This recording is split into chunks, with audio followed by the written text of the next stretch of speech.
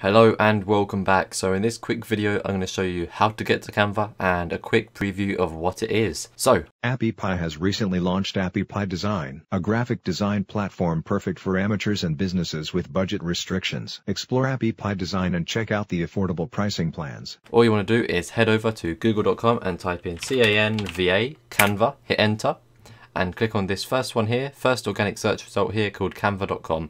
So click on it just like so and then here we have the website. So all you want to do is sign up with Facebook, Google or your email address and then log in like so. And once you've done that, we will start creating your first few projects. So yeah, it's super easy, it's super quick, it's free to use unless you want the premium, which isn't too good, but as you can see if I go to features, look, this shows all of the different document types you can design, all the different photo editing styles, all the different graphs, and so on. And then we have tools, you have photo editor, color palette, font combinations, and then there's a few different things about the about about them, the story, careers, media, and so on and so forth. And then the product, web, iPad, iPhone for work, education, non-profits, and then pricing.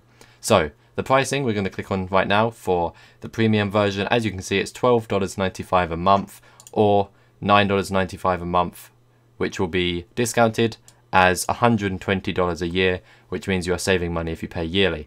But to use Canva, it is free forever.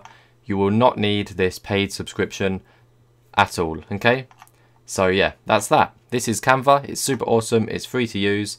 And I would say absolutely everyone should be using it as it's absolutely fantastic and awesome. So yeah, that's that. It's canva.com, canva.com. And then you will be on the website ready to sign up, log in and start designing. So that's all for this video. Thanks for watching, thanks for listening, and I'll see you in the next one. Goodbye.